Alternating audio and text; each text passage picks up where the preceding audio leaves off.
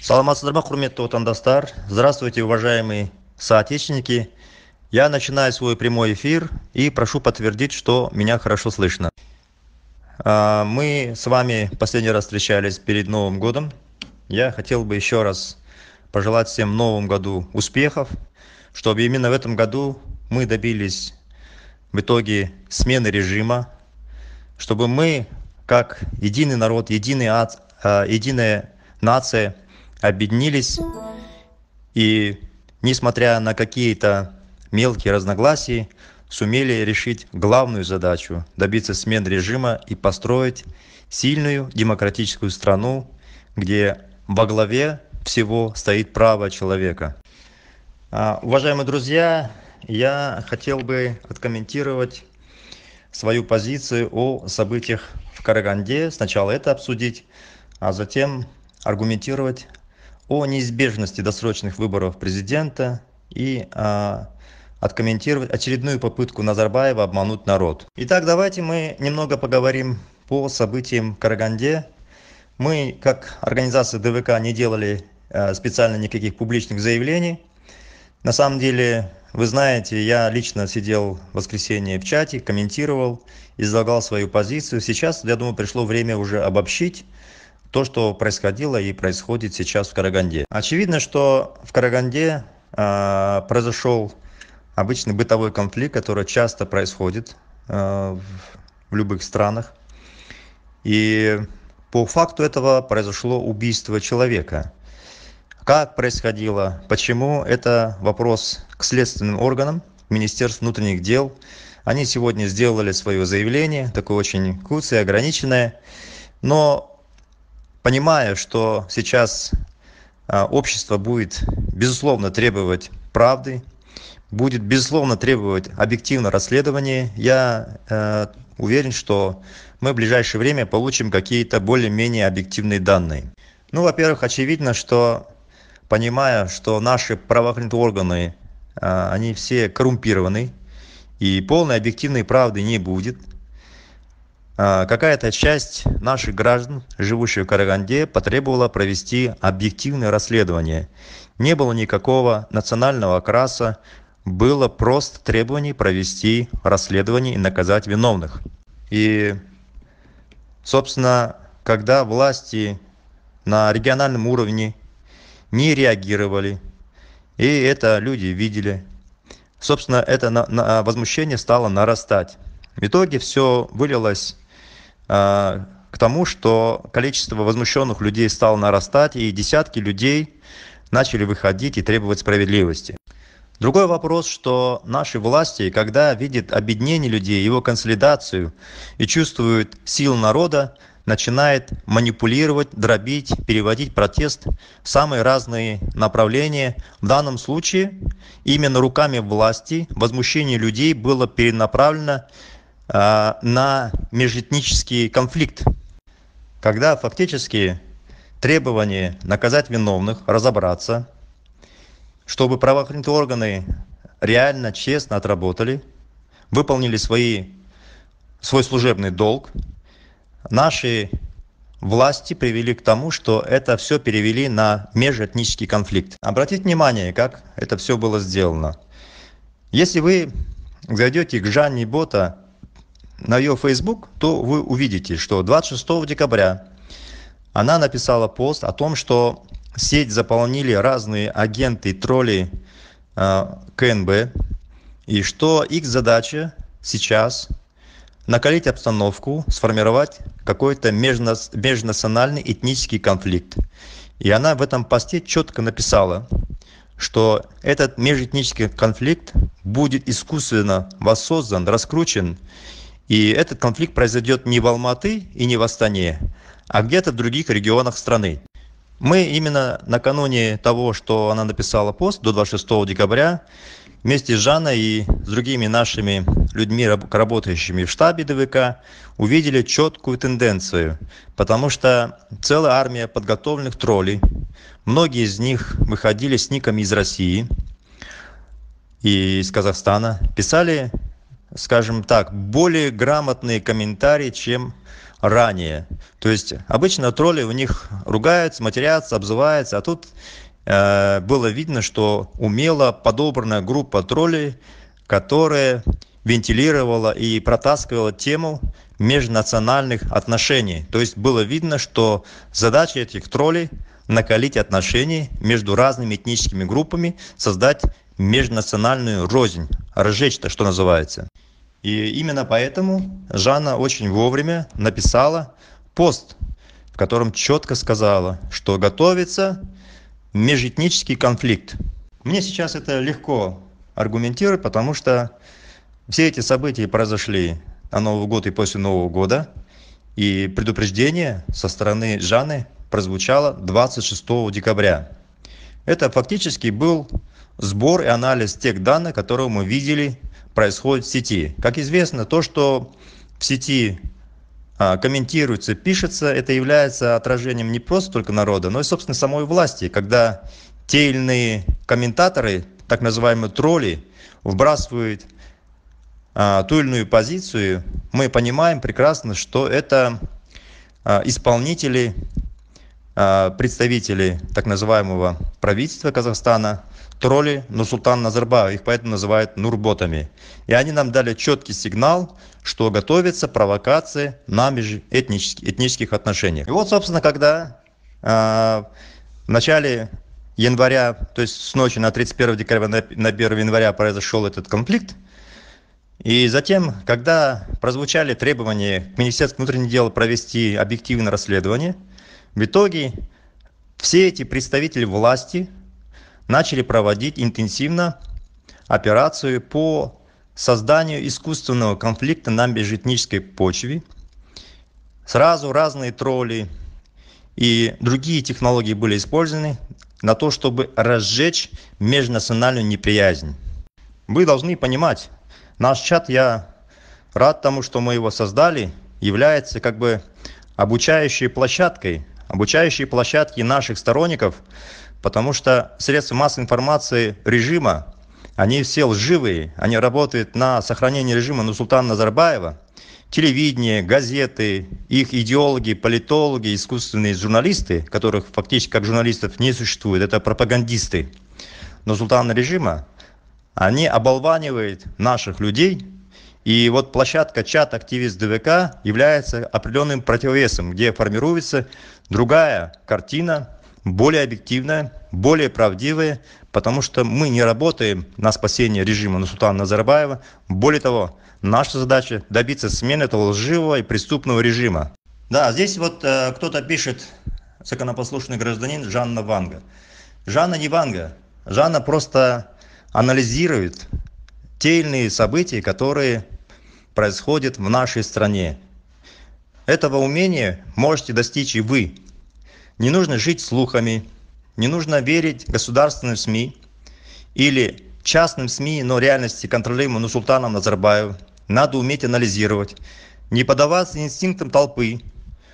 Нужно постоянно находиться в нашем чате, слушать наши репортажи, слушать наши прямые эфиры, и вы тогда, через короткое время, протрете глаза, и вы поймете, что за короткое время вы стали другим человеком, способным анализировать и понимать, где правда и неправда. Итак, собственно, так и получилось. Я еще раз возвращаюсь к твоей оценке этих событий. А, эти тролли, специальные провокаторы, специальные агенты, представители власти начали вбрасывать мысль, что вот это во всем виноваты представители национальных меньшинств. Якобы они получают какие-то преимущества, надо с ними разобраться. Вот. И были брошены данные даже не тех наших граждан армян, а и азербайджанцев тоже наших граждан. То есть все это было так умело вброшено, что в итоге э, сотни наших граждан были возмущены, фактически ими манипулировали, использовали их лучшие чувства, когда они требовали справедливости, когда они требовали выполнения закона, какая-то часть начала выкрикивать националистические лозунги, переводить совершенно в другую плоскость, и этот конфликт, его часть начал принимать определенные уродливые формы. это была попытка власти дискредитировать протест, дискредитировать объединение протестующих, возможность объединить людей против власти, против справедливых требований. Это была грязная попытка власти перевести все на межэтнический конфликт.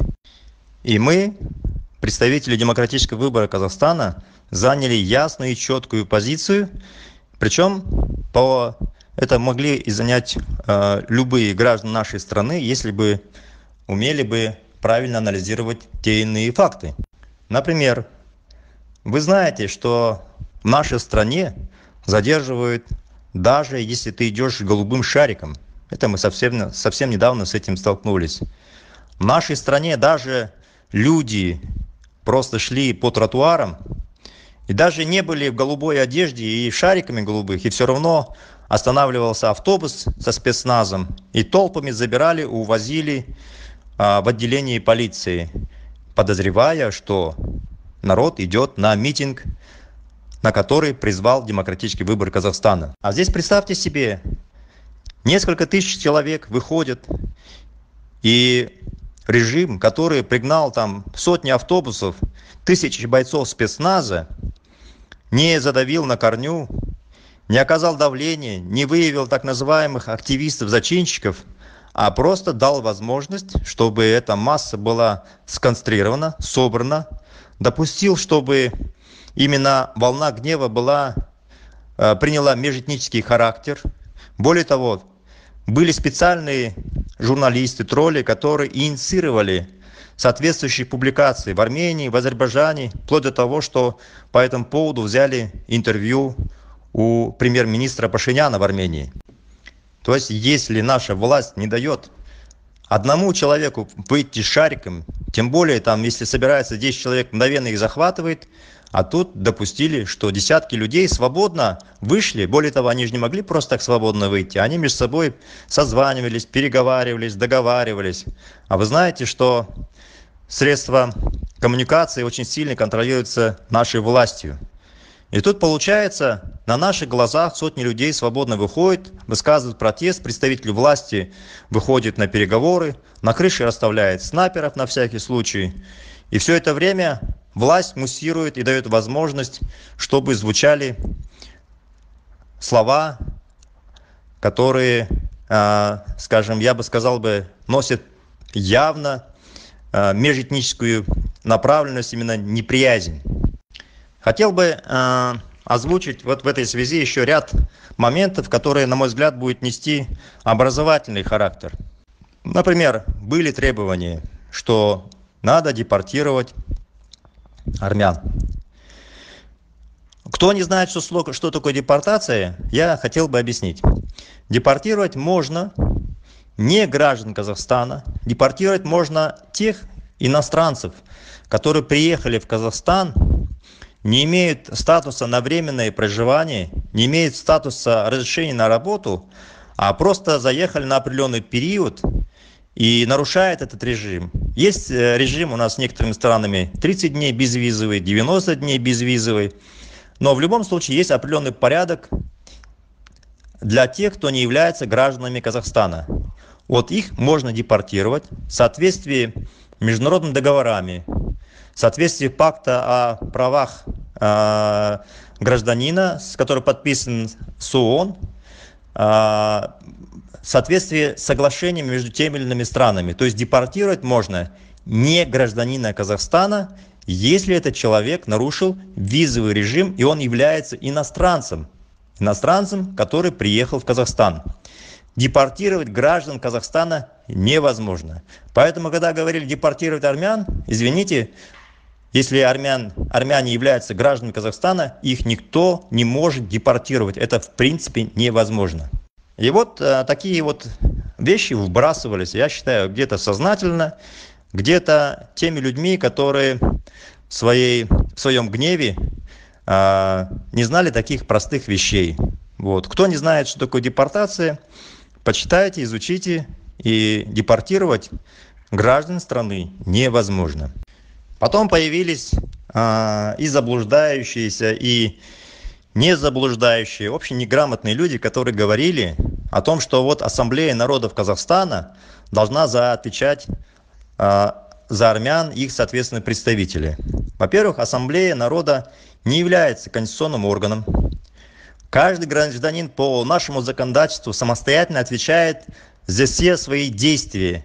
Никто не может, ни ассамблея, а, некая ассамблея, фиктивная структура Нурсултана Назарбаева, которую он использует для создания видимости межнационального согласия.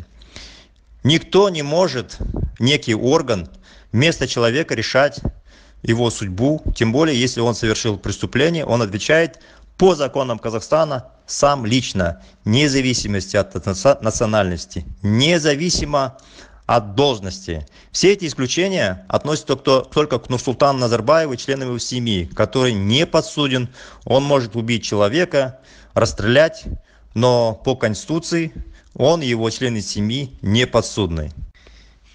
Вот. Э, в этом конфликте начали появляться многие моменты, связанные, э, с, по сути, с накопленным протестом, накопленным недовольством против режима Нурсултана, Нурсултана Назарбаева.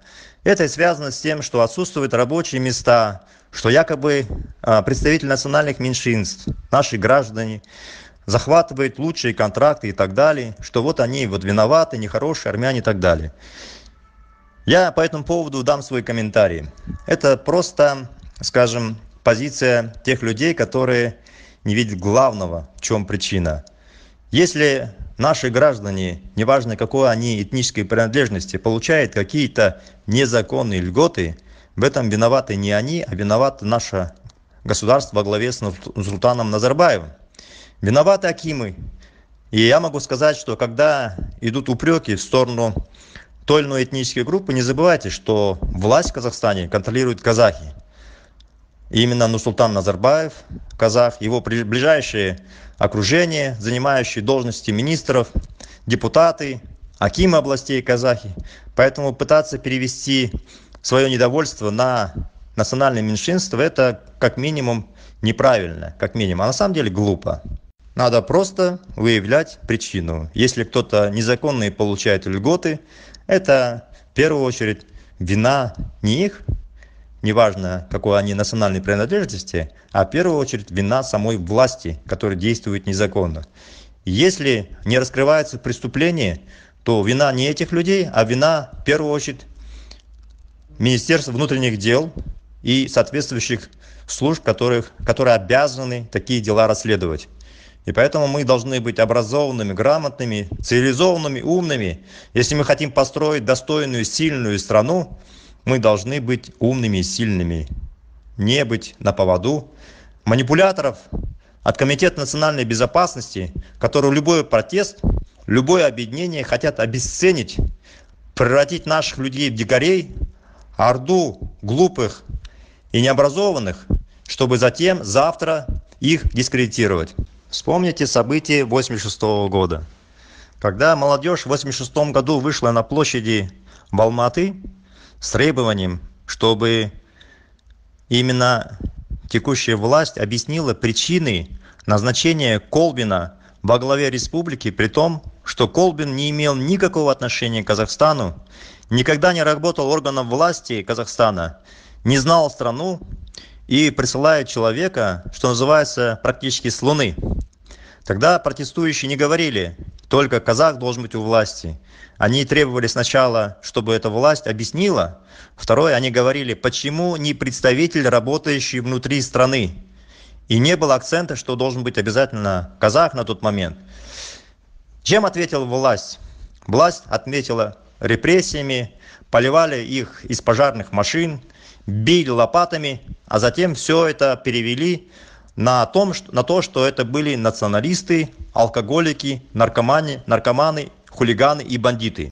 И это все озвучивал сам Нусултан Назарбаев. То есть тех людей, которые вышли на справедливый протест, нашу молодежь,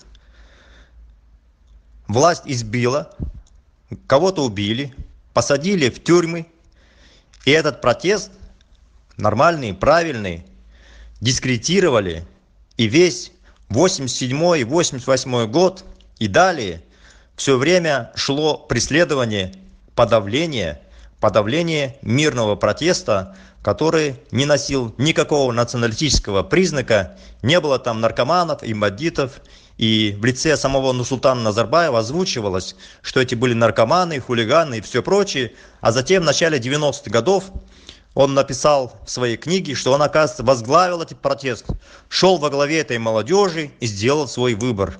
Такая наглая, открытая ложь, полное переиначивание истории. Вспомните жаназенские события 2011 года, когда наши нефтяники 7 месяцев бастовали, Назарбаев не внимал их требованиям, не слушал, а затем, когда наших нефтяников расстреляли, он живо сказал, приехал когда в Женозин, сказал, что он не знал, что были такие требования, его обманывали, что он вообще не, не давал никакого приказа на расстрел.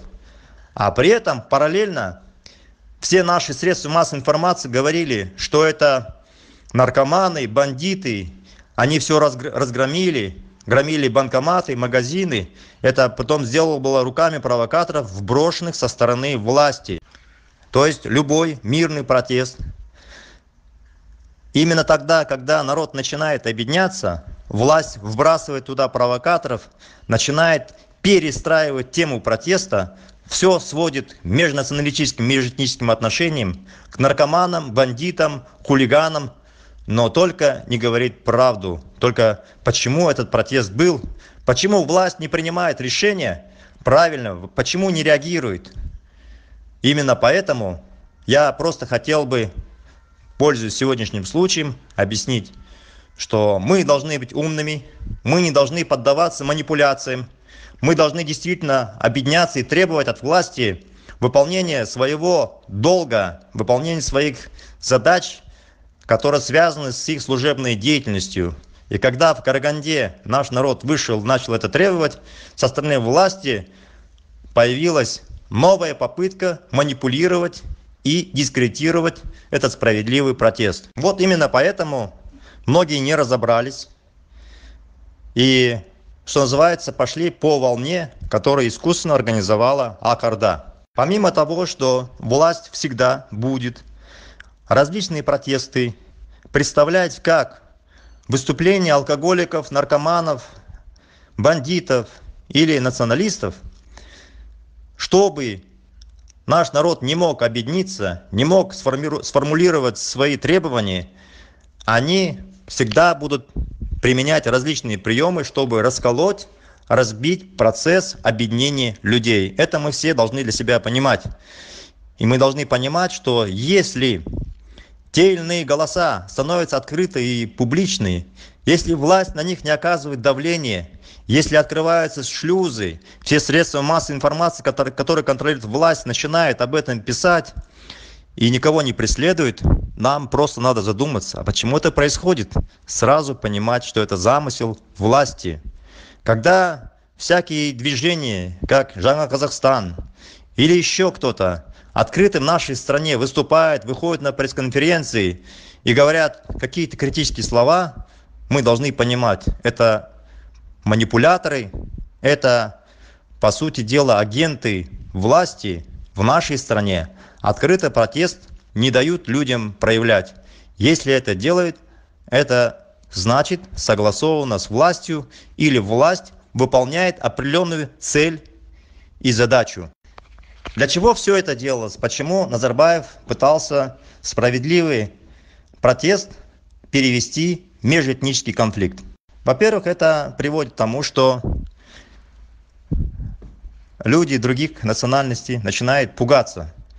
Ко мне очень много приходит вопросов от турков, азербайджанцев, грузин, армян, русских, практически всех национальностей, которые проживают в Казахстане они в тревоге.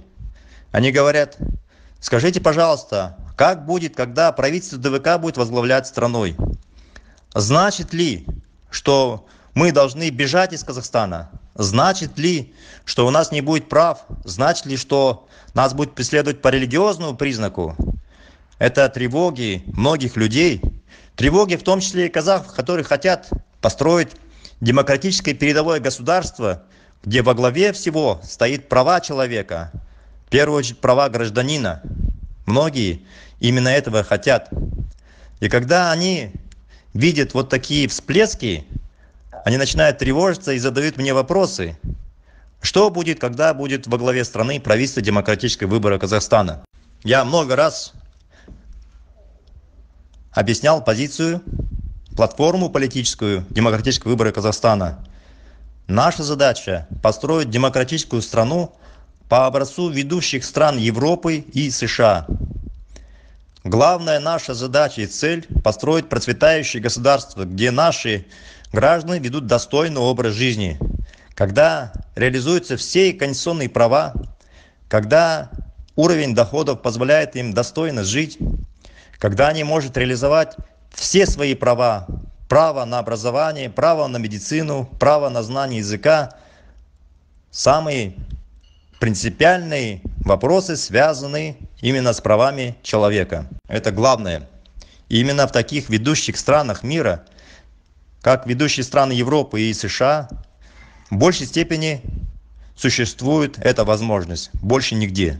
Именно поэтому полмира стремится уехать в США. Именно поэтому Трамп пытается оградиться от наплыва нелегальных иммигрантов, именно нелегальных, я хочу сказать, который пробивается сквозь Мексику тысячами, десятками тысяч, хочет построить, оградиться от такого наплыва, опасаясь, что страна не выдержит такого наплыва беженцев. То же самое происходит в Европе, когда каждый год больше миллиона беженцев из Африки, из других стран рвутся в эти страны, чтобы жить достойно, чтобы их права были защищены. То есть вы понимаете, человек ищет где глубже, э, лучше, как говорится, рыба ищет где глубже.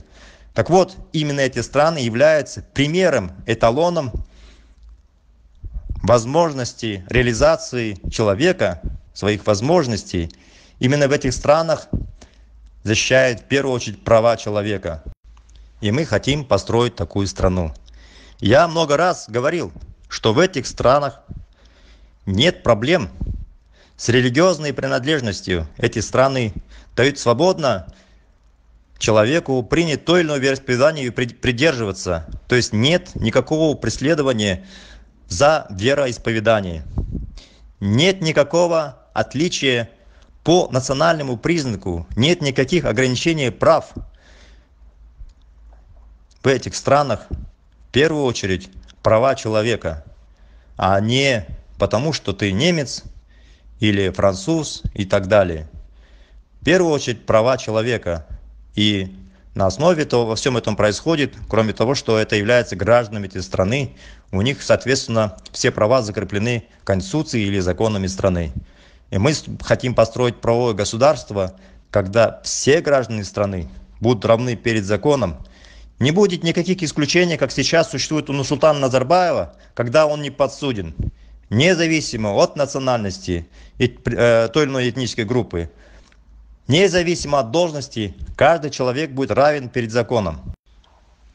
Назарбаев вот такими слухами вот такими механизмами когда выталкивает на поверхность возможность межэтнического конфликта фактически запугивает тех людей которые хотят жить в сильном обществе демократическом где защищены их права где невозможно ущемить по национальному или религиозному признаку.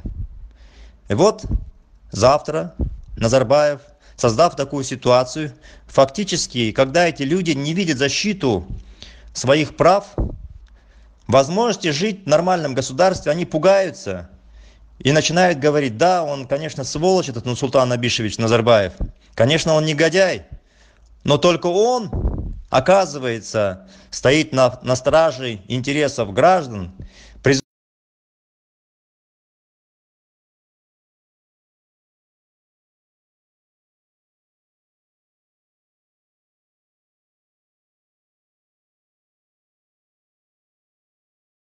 на страже интересов с точки зрения того, что не будет оказываться давление на них, не будет их права ограничиваться с ориентацией на то, что они не той этнической группой, что они якобы не казахи.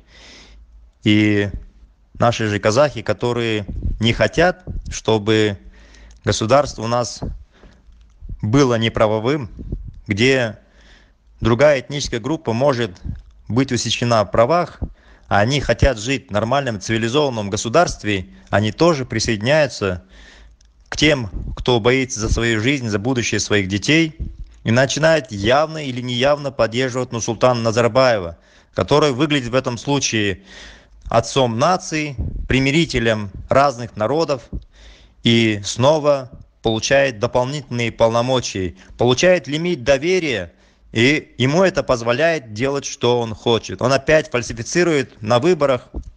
Он может вместо себя безболезненно назначить свою дочь Даригу на должность президента. Я хочу сказать, все те, кто поддается на такие провокации, кто участвует в межэтнических рознях, кто делает выпады относительно других национальностей и других этнических групп, которые существуют в Казахстане, они способствуют тому, что режим Нурсултана Назарбаева укрепляется, и тогда вы не жалуетесь, что у вас маленькая зарплата, что нет медицины, что плохие дороги, что вы не можете выучить свой государственный язык, вы не можете устроиться на работу. Все те, кто поддерживает именно межэтническую направленность конфликта, они помогают и поддерживают режим Нурсултана Назарбаева.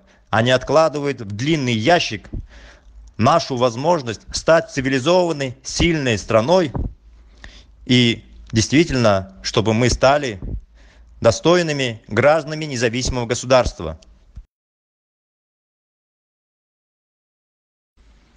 Очень много наших граждан возмущается политикой Китая относительно мусульман и казахов, которые проживают на территории Китайской Народной Республики.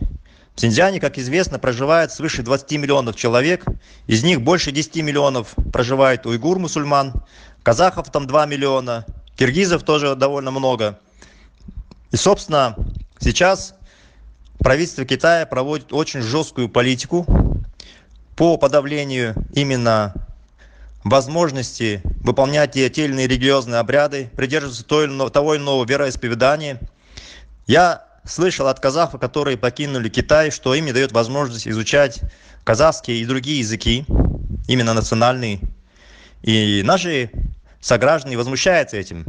И хочу вам напомнить, что если вы возмущаетесь тем, что казахи в Китае не могут свободно придерживаться того или иного вероисповедания, свободно изучать свой язык, вы не должны проводить такую же политику внутри Казахстана. Когда вы будете говорить «одна религия», и только вот так вот говори, это вы ничем не отличаетесь от китайцев. Мы должны построить свободную страну, где наши граждане должны возможность иметь право реализовать свои права. Мы не должны никого ущемлять. Мы должны построить сильное государство с равными правами для всех граждан Казахстана.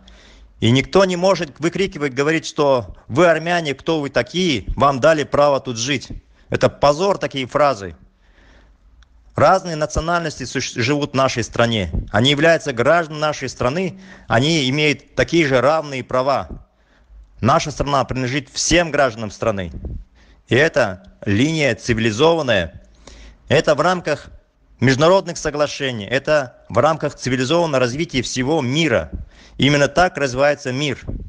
Поэтому я прошу вас быть внимательными, не поддаваться эмоциями, и требовать, если от власти что-то мы требуем, выполнение закона. Никто не должен быть выше закона. Все, независимо от национальности, должны исполнять законы, не какие-то ассамблеи некого народа Казахстана, не какие-то культурные центры.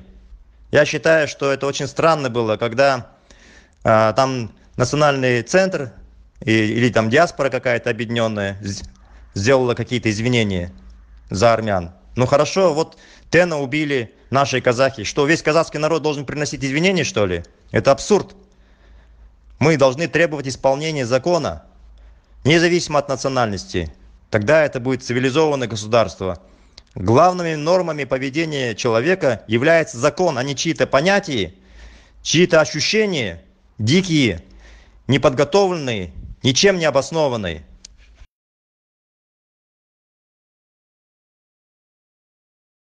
Поэтому я прошу вас быть внимательными, не поддаваться эмоциями и требовать, если от власти что-то мы требуем, выполнения закона.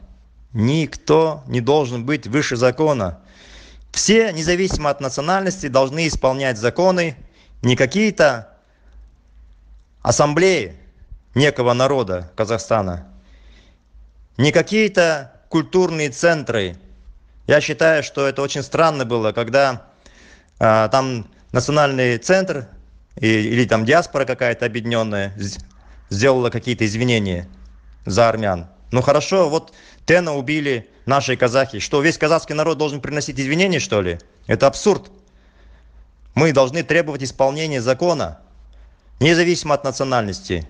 Тогда это будет цивилизованное государство главными нормами поведения человека является закон а не чьи-то понятия чьи-то ощущения дикие неподготовленные ничем не обоснованные мне вот здесь задают вопрос почему казахов выдворяют с кореи. Я уже говорил что депортация возможна в том случае если иностранцы не выполняют правил нахождения на территории той или иной страны. Вам всем общеизвестно что многие наши граждане больше десяти тысяч человек живут в корее южной. Где-то там работает работает контрабандно. Есть определенные правила для того чтобы получить возможность въезда в страну есть разные визы. Туристические визы рабочие визы. Чтобы получить рабочую визу нужно подписать контракт с компанией корейской которая вас приняла на работу. Если этого нет если вы контрабандно работаете то в соответствии с южнокорейским законодательством вы нарушаете законодательство и страна имеет право выдворить из страны того кто нарушает законодательство когда речь идет о депортации в том числе такие же правила внутри казахстана. Если кто-то находится на территории казахстана нарушив правила нахождения на территории страны тогда наступает механизм выдворения не граждан страны с территории или южной кореи или из казахстана. Вот вот такое правило существует во всем мире. И это все регулируется международными соглашениями между государствами. Здесь казахстан говорит принадлежит казахам. Казахстан принадлежит нашим гражданам я еще раз четко говорю нет в законе ни такого ничего специально который регулирует по этническому признаку. Вот. Если кто-то хочет по этому поводу что-то аргументировать сошлитесь на нормы закона конституцию приведите мировое право и так далее. А все это попытка опять глупо действовать по направлению которого вбрасывает режим. Или от просто от элементарной необразованности. Теперь мне здесь задают вопрос когда будем действовать да? А, давайте мы обсудим это сейчас поймем что значит действовать. Наша задача мобилизовать не менее пяти процентов населения. Это один миллион человек. Как мы много раз говорили что именно в этом случае когда мы мобилизуем один миллион человек это э, научное скажем изыскание власть сменится мирным путем. Именно в этот момент на нашу сторону перейдет и полиция и другие силовые органы которые не будут выполнять поручения нурсултана назарбаева подвергать репрессиям протестующих и тем более стрелять. Значит наша задача очень простая. Когда мне задают вопрос когда будем действовать я хочу сказать что для того чтобы эту задачу исполнить надо сделать очень много шагов то есть действовать. Мы весь прошлый год действовали. Создали чат который нас объединяет в котором мы сейчас между собой общаемся вырабатываем общую линию и решаем как действовать для того чтобы добиться главной цели а именно смены режима нурсултана назарбаева. То есть первый шаг был сделан в прошлом году. Затем мы в рамках того что хотели набрать миллион человек за 42 дня добились в чате численности в центральном активе сдвк 100 тысяч человек в течение прошлого года было опубликовано ряд программ демократического выбора казахстана на основе которого мы планировали объединить народ Казахстана. Это программа политических реформ и программа экономических реформ, чтобы наши сторонники понимали, почему они должны объединиться вместе с демократическим выбором Казахстана. Почему они должны сменить этот режим? Потому что наша программа политических реформ предполагала, что не будет должности президента, что власть будет принадлежать народу, что мы построим парламентскую республику, и что именно представитель народа, депутаты сформируют правительство во главе с премьер-министром, который будет подотчетно парламенту, соответственно, народу Казахстана. Мы объявили о том, что акимы областей и других местностей, населенных пунктов, городов, районов и так далее будут избираться народом. Мы объявили, что медицина в нашей стране, государственная медицина, будет бесплатной. Мы объявили, что государственное образование, высшее, среднее и дошкольное будет бесплатное. Мы объявили ряд программ, которые, на наш взгляд, должны были объединить наших сторонников. Действие – это не просто призыв выйти на митинги и кого-то убрать. Действия, обращение к нашим сторонникам, они в первую очередь должны быть осмысленны и направлены на реализацию определенной цели, а именно построение нового демократического государства, справедливого. И, соответственно, мы должны были опубликовать план политических и экономических реформ, который действительно показывает намеренность направленность наших программ, соответственно, именно такое государство, которое мы хотим построить в результате реализации этих программ. То есть весь прошлый год шли активные действия, как с точки зрения интеллектуальной, а именно написание проектов политических реформ, экономических реформ и объединение наших сторонников – для реализации этих целей и задач. И мы в прошлом году договорились, что мы для того, чтобы вывести 1 миллион человек, мы должны провести объединение наших сторонников, то есть нужны были тренировки. А до этого необходимы были тренировки в виде проведения акций, митингов, и шаг за шагом наша была задача добиться, чтобы на протесты выходили не менее около 1 миллиона человек. В Армении только в одном городе, Дереване, вышло около 150 тысяч человек. Количество общепротестующих было порядка 300 тысяч человек. Из общего количества 3 миллионов армян на улице вышло около 10% населения. Наша задача была скромнее. Всего 5%. Вот наша скромная задача, мы ее должны исполнить и действовать шаг за шагом, чтобы мы могли добиться главной цели, а именно смены режима Нусултана Назарбаева и построения демократического государства.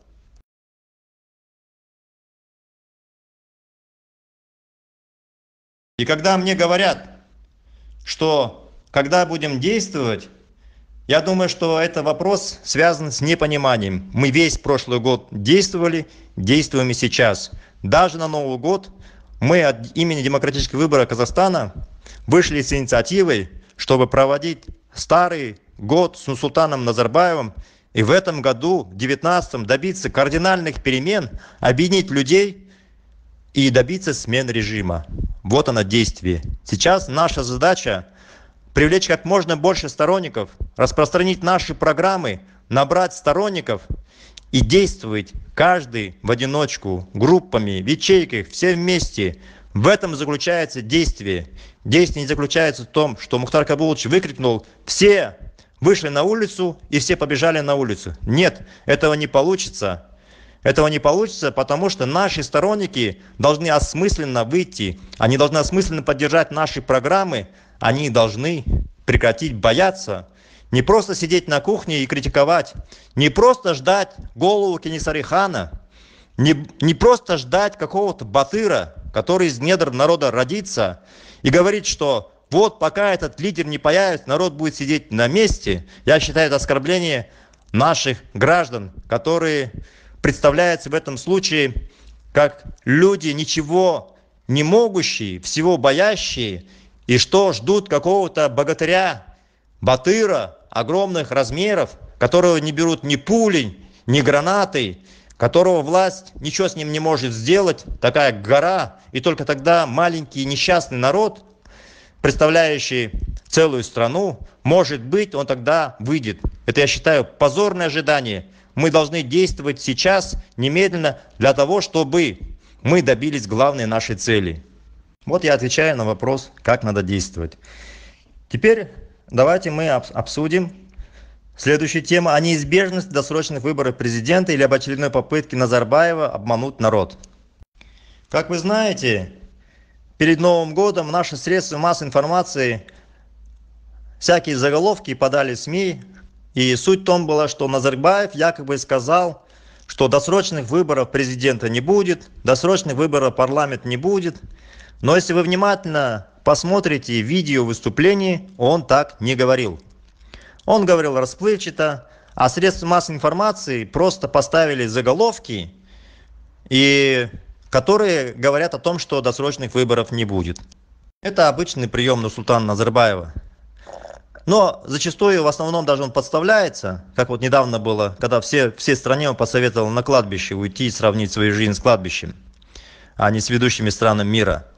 Или когда он говорил, что девальвации не будет, а через короткое время девальвация происходила. То есть было видно, что Назарбаев все время лжет. И таких примеров много. Он также в 2000 году говорил, что он уйдет, что он не железный. Но с того момента уже прошло 19 лет. Он 19 лет у власти. Поэтому мы должны понимать, что словам Нурсултана Назарбаев верить нельзя. Что когда он говорит, чего-то не будет, нужно быть уверенным на 100%, что это именно произойдет ну что он все время лжет. Итак, давайте мы проанализируем, будут ли досрочные выборы или не будет. Будет ли Нусултан Назарбаев двигать на должность президента Даригу или не будет. Ну, я сразу скажу, что будет. Он будет продвигать на должность президента Даригу Назарбаеву. Это произойдет обязательно в ближайшее время. Он не выдержит и объявит досрочные выборы.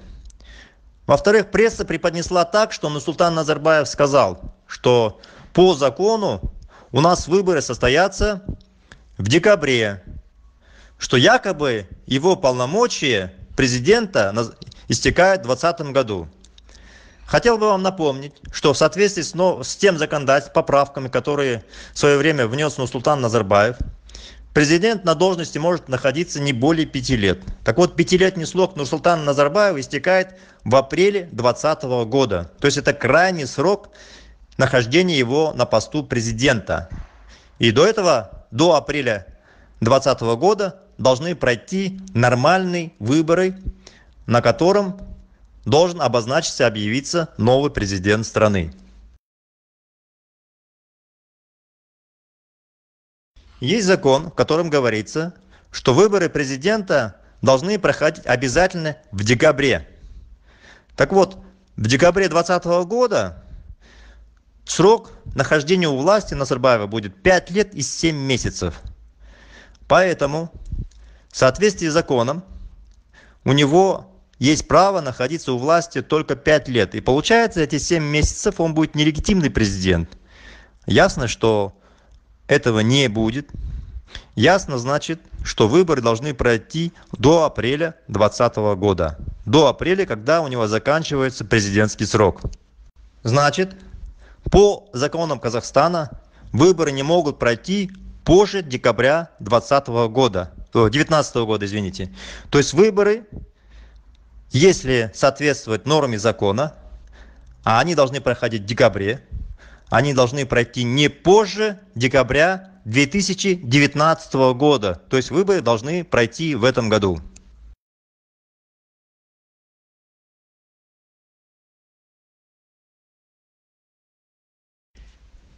За, если проанализировать историю выборов, никогда не было выборов в срок. Они всегда были досрочные и неожиданные.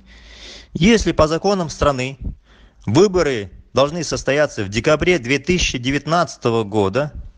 Зная повадки и приемы Нурсултана Назарбаева, что выборы он проводит досрочно, минимум за год, а и то и больше, очевидно, что выборы будут раньше, чем декабрь 2019 2019 года. У него, как у так называемого лидера нации, есть конституционное право объявлять досрочные выборы. У него есть такое правда, право. Поэтому очевидно, что выборы пройдут раньше, чем в декабре 2019 года. Ясно, что они не осенью.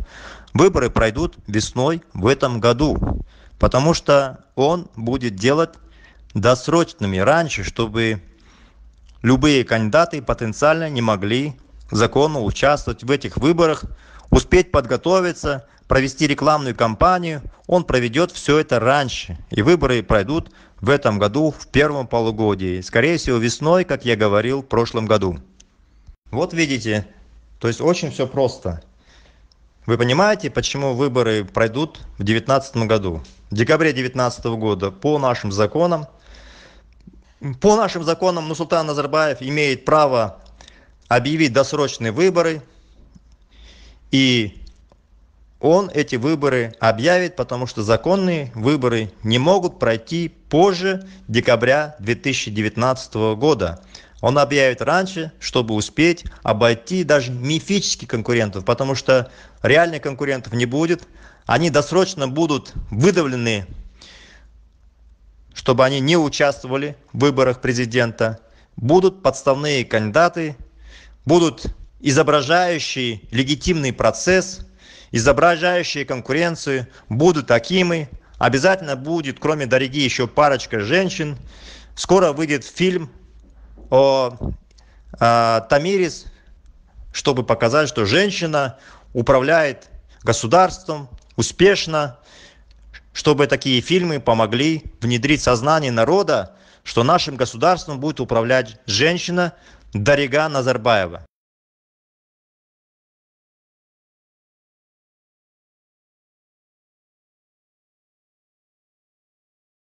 Здесь меня спрашивают, что разве Назарбаев не сделал срок 7 лет? Он действительно делал срок президента 7 лет. И вы обратите внимание, что э, потом затем были внесены поправки, э, по-моему, после 2010 года. Э, срок был изменен, был срок сделан 5 лет. И на выборах 2015 года он прошел по законам новым Казахстана, когда срок президента 5 лет.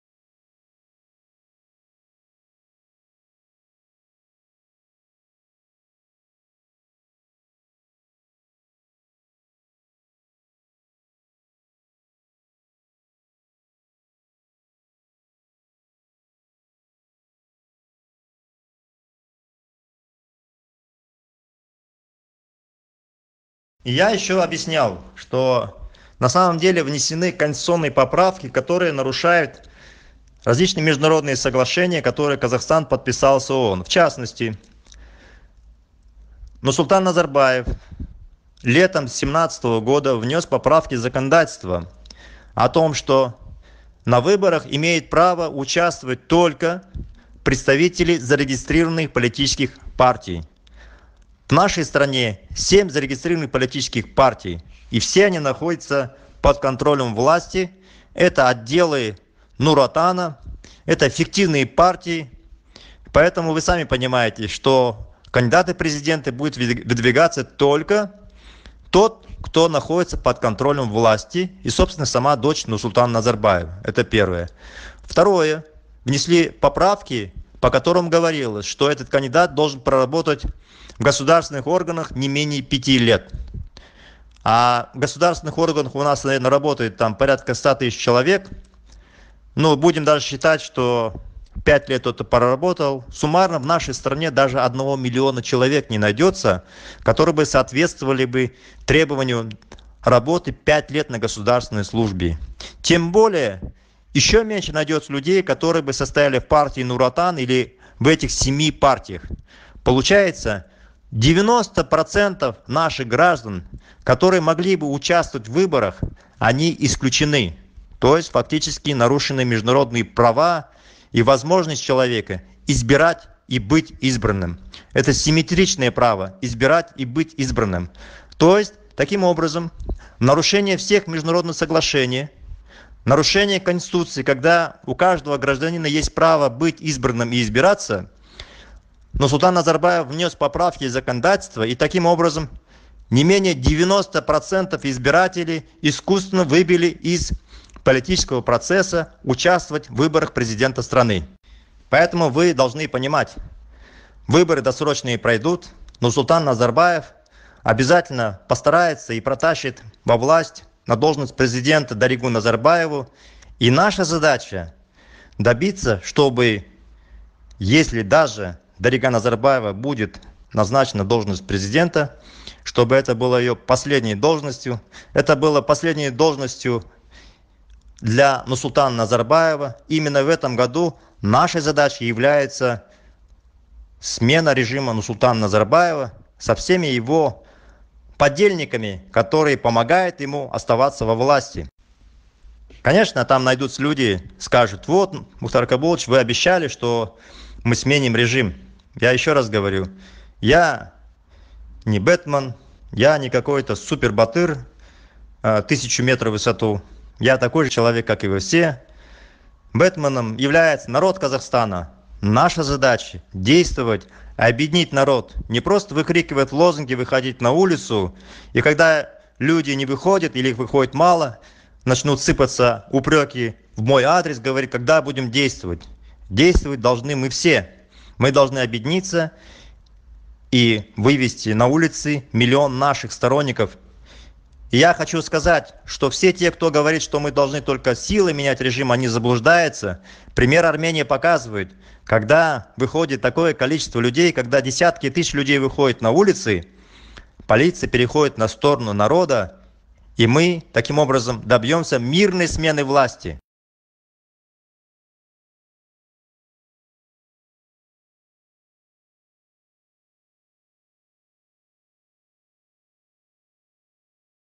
У меня спрашивают, почему я, например, не могу участвовать на выборах.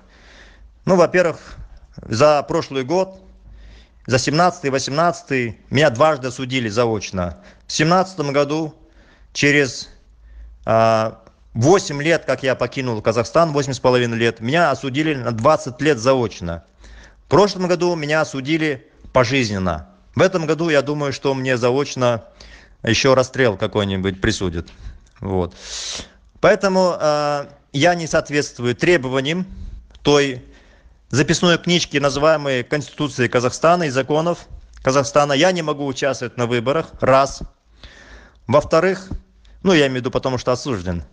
Во-вторых, я не работал на государственной службе 5 лет. Это искусственная поправка, которая нарушает права всех граждан Казахстана. Она внесена летом 2017 года. В-третьих, я не являюсь членам зарегистрированных нуратановских партий, их 7 штук в стране. Поэтому все те, кто не соответствует этим требованиям, они не могут участвовать на выборах. Они не могут быть самовыдвиженцами, как раньше было, как есть во всем мире. Именно требование 5 лет работы на государственной службе. Второе, только партия имеет право выдвигать на выборах своего представителя. Все партии принадлежат Нурсултану Назарбаеву в стране. Существующие партии, которые есть, они все являются подконтрольными власти. Нет ни одной партии, которая могла бы сказать, что она независимая и самостоятельная. Если кто-то скажет, что есть такая партия ОСДП, я могу сразу сказать, это партия власти, она находится под контролем власти, она просто имитирует якобы оппозицию для того, чтобы международ... в глазах международного сообщества выглядеть демократическим государством. Это все декорации. Мы в ближайшее время выйдем с новыми инициативами, которые усилят наше объединение, усилит возможность создания будущего правительства.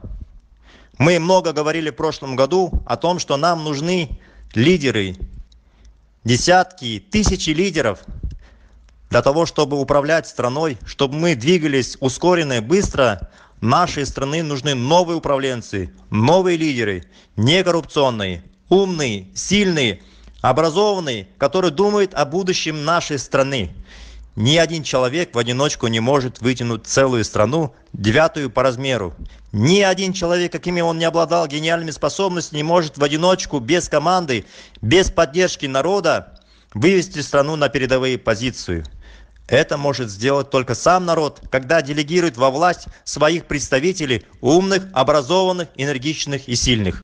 Поэтому мы в ближайшее время выйдем с программой которая предполагает поиск таких людей которые предполагает создание команды на уровне правительства депутатский корпус местные органы города областя государственные компании. Нам нужны десятки тысяч лидеров уважаемые друзья ваше будущее в ваших руках именно ваша инициатива ваша активность ваша образованность ваши знания ваше желание внести свой вклад в развитие новой страны поможет нам действовать, изменить ситуацию в стране и построить новое государство.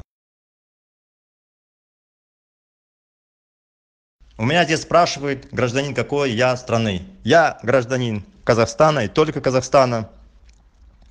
Поэтому здесь, а, если я где-то и живу за рубежом, я живу, получив временный статус, убежище, политическое убежище, разные статусы получаю – но это никак не влияет на мое гражданство. Я гражданин Казахстана и действую как гражданин Казахстана. Даже этот режим Назарбаева завтра лишит меня гражданства, а норма такая летом 2017 года уже встроена в существующее законодательство, направлена и про, именно против меня, чтобы вы понимали. Я, даже если у меня формально отберут гражданство, я свое гражданство никогда не потеряю, потому что для меня паспорт это обычная бумажка. Мы, когда сменим режим Назарбаева, когда мы их всех арестуем, посадим в тюрьму, я все эти необходимые документы получу, получу и стану снова полноценным гражданином Казахстана. Я сейчас полноценный гражданин Казахстана. Паспорт это бумажка, бумажка режима. И мне все равно, там примет какое-то решение и поставит свою печать режимом Султана Назарбаева. Мне все равно, я всегда останусь гражданином нашей страны.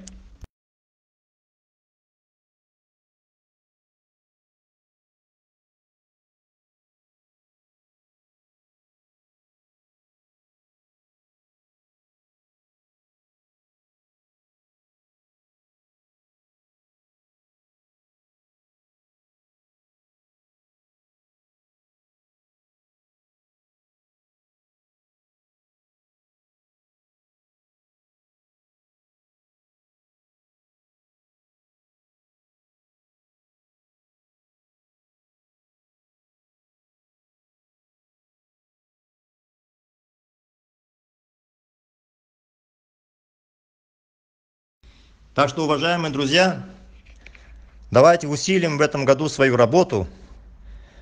Да, режим преследует, преследует наших сторонников, но мы с этим справимся. У таких режимов нет будущего.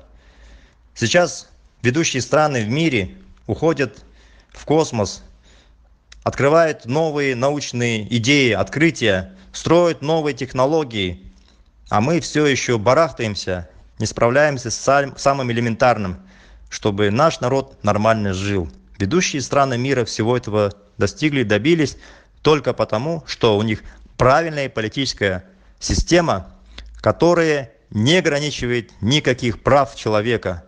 Право на работу право на свободу право на свободу голоса право на выборы право на вероисповедание. Этих прав их тысячи только такое государство свободное раскрепощает человека. Только это позволяет построить сильное государство. Сильное государство можно построить только руками сильных и независимых людей. Сейчас наше государство слабое и отсталое. Слабое и отсталое, потому что у нас слабая страна, именно слаба своими гражданами, которые еще не подняли свой голос, не наказали этого диктатора, не призвали его к ответу мы слабые надо смотреть правде в глаза. Наша нация к сожалению слабая если кто-то искусственно говорит что вот сильная нация и так далее вы не верьте. Не верьте когда вы толстый вам говорят что вы худой. Не верьте когда вы плохо живете а вам говорят что вы живете великолепно как говорит нурсултан назарбаев когда он говорит казахи никогда не жили так хорошо это ложь. Мы сейчас слабая нация. Мы будем сильной нацией если мы отстраним этот режим от власти построим сильную независимую страну только тогда мы будем сильной нацией.